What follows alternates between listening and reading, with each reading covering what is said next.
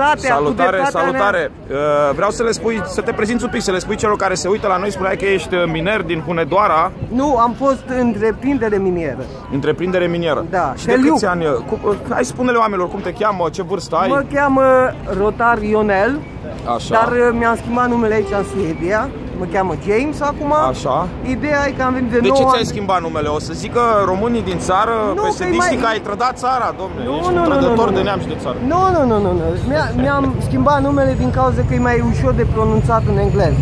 A, nu înțelegeau uh, Era Io- suedezii cum e Ionel cu și Ionel, acum da. e James. James, mai da, ușor. care e același Tot. lucru practic Da. în engleză.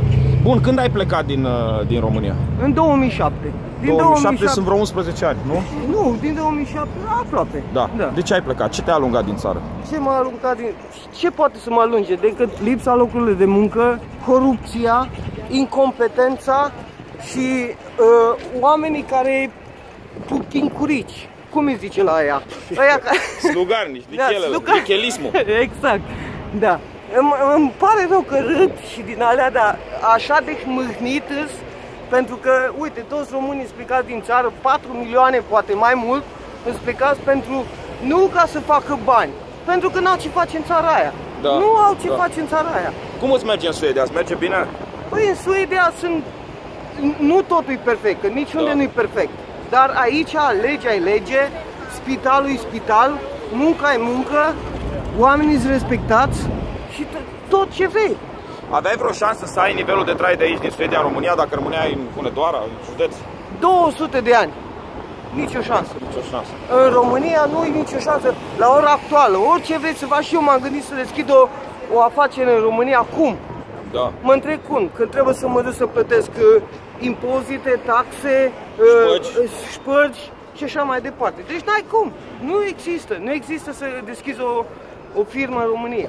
Cum se vede uh, din Stockholm, din Suedia, ce face Liviu Dragnea cu legile justiției, cu DNA-ul? În cu ce fac de fiecare repede zi mă uit la, la știri, mă uit la uh, Mălin Bot uh, YouTube channel, ea? Mulțumesc mult! da? Ideea e când văd acolo toți jurnaliștii puși la pământ uh, de uh, jandarmi. Pentru ce? Pentru ce? Pentru că și dreptatea? Nu, nu e corect.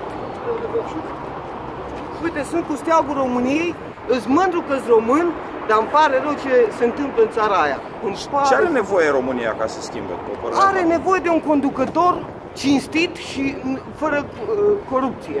Aia Ca are. să aibă un astfel de conducător, ar trebui să meargă în primul rând să voteze, să-l aleagă. nu? Deci lumea ar trebui să meargă la vot, toată lumea, și eu mă duc la vot de aici, dar uh, nu știu, cu corupția asta, cu uh, îți dă o găleată de ulei, uh, un kil de zahăr, eu nu cred că poate lumea ca să câștige voturile.